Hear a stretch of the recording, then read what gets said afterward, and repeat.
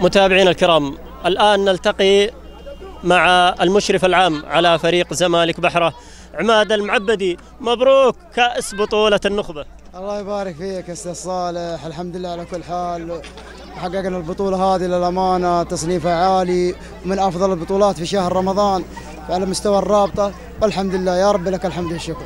يا رب لك الحمد. إيش سويتوا في زمالك بحرة للمرة الثانية في فترة بسيطة يحقق بطولة في الخمرة؟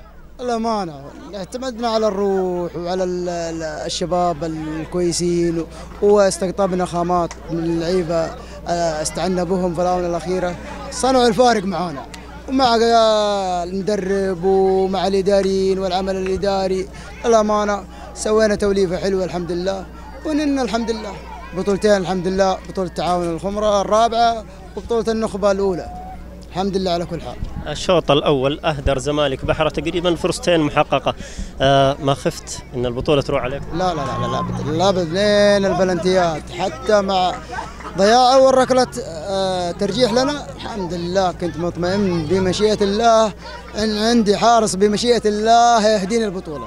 وأهداني البطولة فعلا. طيب كيف شفت الحضور الجماهيري والكرنفال والتتويج هنا في ملعب صقور الخمرة؟ لا لا مانع يا أستاذ صالح.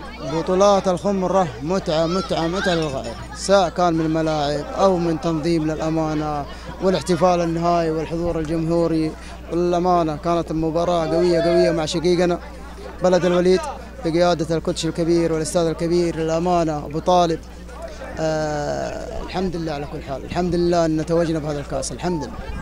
أبارك لك مرة أخرى هنا عبر شبكة النجوم وعبر سناب صقور الخمرة تحقيق بطولة النخبة الأولى. الله يبارك فيك وشكرا للقناة الناقلة وشكرا لك يا أستاذ صالح للأمانة. ونشوفك إن شاء الله إعلامي كبير بمشيئة الله.